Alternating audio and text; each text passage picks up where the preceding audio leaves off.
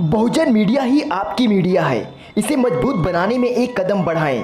Join के button पर जाकर एक कदम भीम मिशन की ओर को ज्वाइन करें।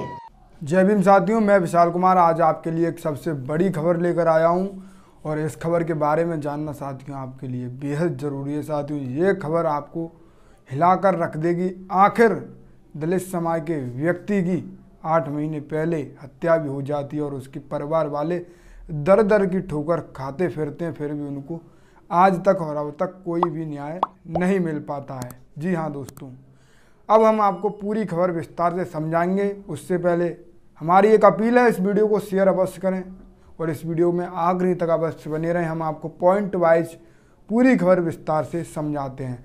साथियों अब हम आपके बीच एक सबसे महत्वपूर्ण पॉइंट रखते हैं। साथियों पहला पॉइंट ये है कि जो कि एक करण प्रसाद नाम का लड़का है, वो फेस जो कि ट्विटर पर एक वीडियो शेयर करते हुए बोलता है कि, सुधा मेरी माँ है, चित्रकूट की रहने वाली है, मेरे पापा की जनवरी में हत्या कर दी गई थी।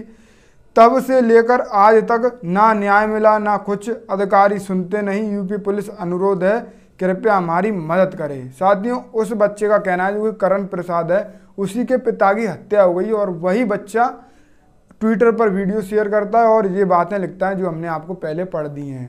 साथियों यूपी पुलिस से उन्होंने अनुरोध लगा है।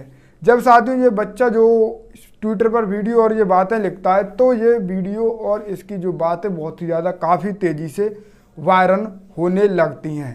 साथियों ज़्यादा बात आगे करने से पहले हम आपको वो वीडियो दिखा देते हैं, जिससे कि आप भी पूरा मैटर समझ सको। साथियों सबसे पहले वो वीडियो देखिए, फिर हम आपसे आगे बात करते हैं।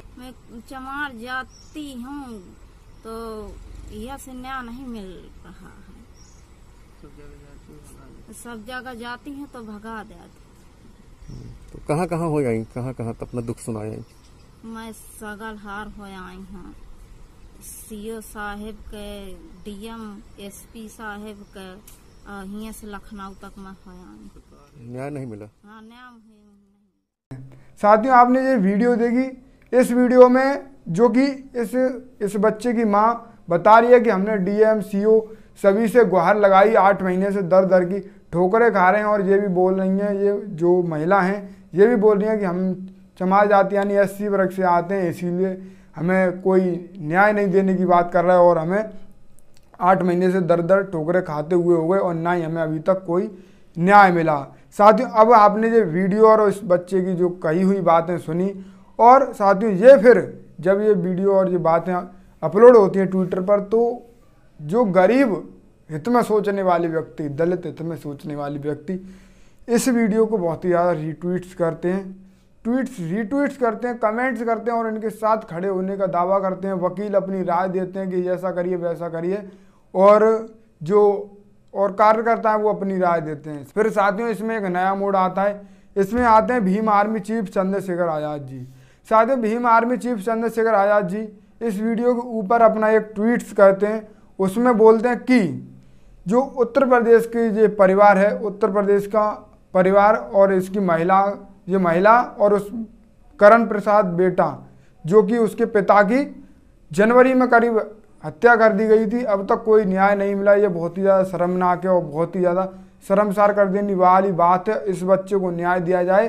ऐसा भीम आर्मी चीफ चंद्रशेखर आज़ाद जी बोलते हैं और सीएम ऑफ़िस टैग करते हैं। और फिर जो कि Karan Prasad Bhim army chief Chandrashekhar Azad ji tweets के जो ऊपर कमेंट्स करते हैं और बोलते हैं कि हम सीएम ऑफ़िस लखनऊ भी गए थे और वहाँ पर भी हमने ज्ञापन दिया। वो एप्लीकेशन उच्च अधिकारियों ने रख लिया और अभी तक कोई कहा सुनी कोई भी वहाँ से कोई प्रतिक्रिया, कोई राय नहीं आई, ऐसा करण प्रसाद का कहना है।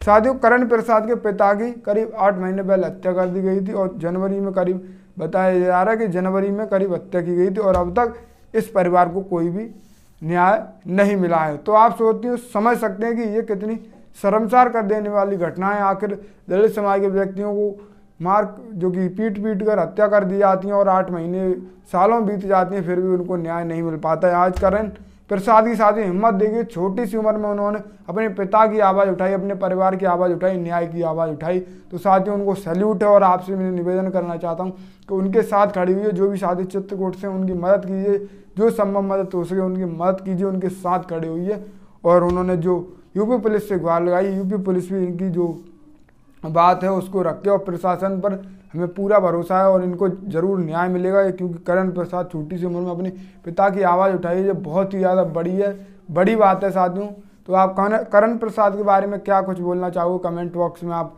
अपनी राय अवश्य दें। और साथियों, आपको ये वीडियो और मेरी खबर अच्छी लगी हो तो इस वीडियो को लाइक करें, जिससे कि ये वीडियो प्रमोट होकर आगे इस तक पहुँच सके। साथियों, अगर आप चैनल पर नहीं तो चैनल को सब्सक्राइब इसीलिए कर देना, क्योंकि साथियों, इस चैनल का उद्देश्य गरीब दलित, शोषित, वंचितों पर हो रहे उत्पीड़न व अत्याचार की आवाज़ उठाना इस चैनल का उद्देश्य तो साथियों, आप इस चैनल को सब्सक्राइब करके बगल में दी घंटी को अवश्य दबाएँ। जय भीम, जय भारत। फिर मिलते हैं नई खबर एक नई जानकारी